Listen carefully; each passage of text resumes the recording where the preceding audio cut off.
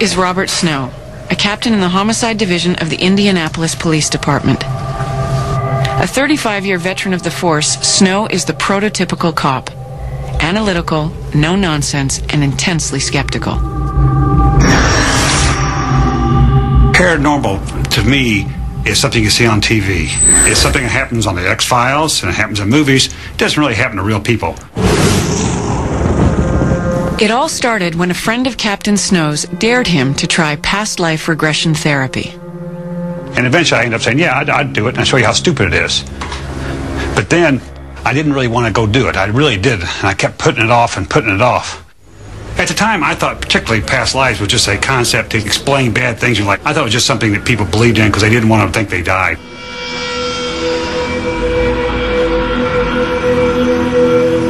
First off, I didn't think I could be hypnotized. I thought I was much too strong-willed. I always thought hypno hypnotists could only hypnotize weak-willed people. I'm going to count down from 10 to 1. And with each number that I count, you will slowly become more deeply relaxed. 10, deeper, deeper relaxed. For the first half hour, absolutely nothing, absolutely nothing happened.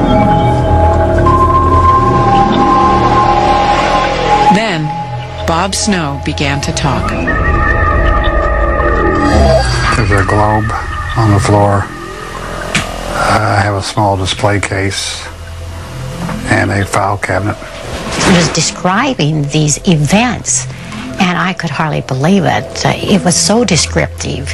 And then what struck me most, he said, I'm so lonely. And I began to get choked up when he said that, and because here is a man I didn't think even had any emotions.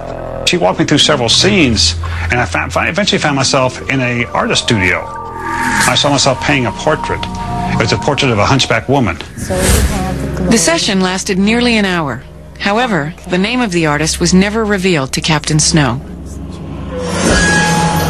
After my regression with Dr. Griffith, I was really confused about what had happened. I mean, it was the trouble was it was so vivid, so startling. I didn't know what to make of it. His confusion soon morphed into obsession. It started bugging me. It, it really started bugging me really badly. he became more obsessed with it and it seemed the more obsessed he became with it the more it disturbed me because it just was out of the ordinary and i mean it was really consuming him Finally, Captain Bob Snow made a decision. When I decided I had to look into this case and solve it to figure out what caused these memories to come up, I went back. I had made I'd made an audio tape of my regression, and I went back to the audio tape, listened to it, and I wrote down everything I had said during my regression that could be proved or disproved. Snow claims he found 28 provable facts. 28 facts all recorded on audio tape. The quality of the tape is extremely poor, but these are actual excerpts from that therapy session. I'm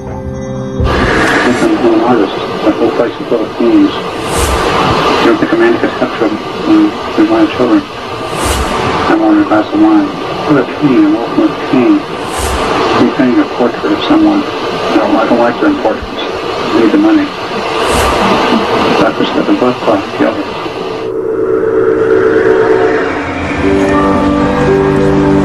During the session, Bob recalled a piano as well. Also revealed was the number 1917 and the portrait of the hunchback woman. And this is where Captain Bob Snow's journey actually begins.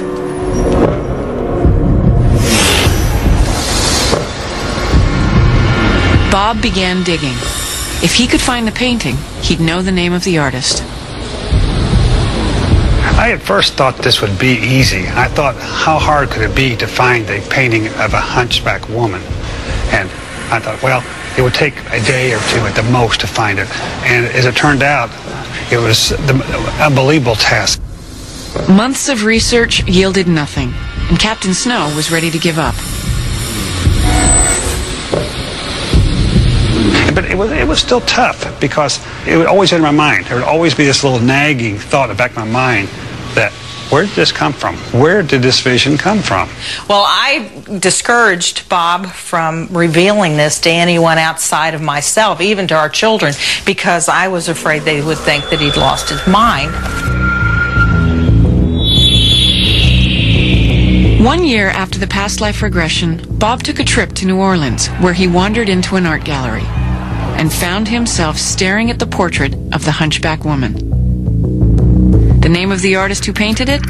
James Carroll Beckwith. No reproductions of that painting exist, and the original is owned by an anonymous collector. This sketch is based on Bob's description. When I found the painting in New Orleans and I found out who the artist was, well then I had then I had a way to reopen the case.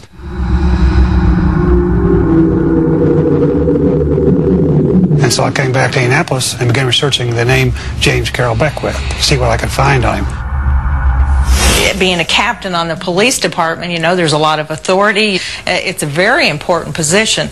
And uh, with him believing that he's a reincarnated painter, I had a problem with that, and I figured everyone else on the police department would have a problem with it also.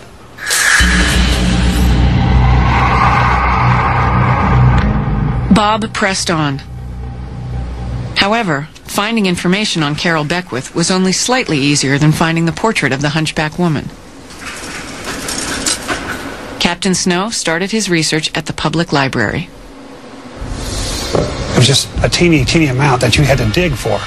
And I'd assumed that I had stumbled across his name sometime in my life when I was doing some kind of reading. But I found there's no way I could have because he, his, the references to him were just very, very few and far between.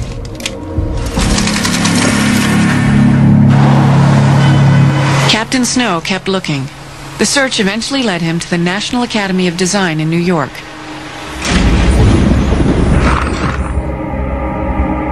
There, he found the diaries of James Carroll Beckwith.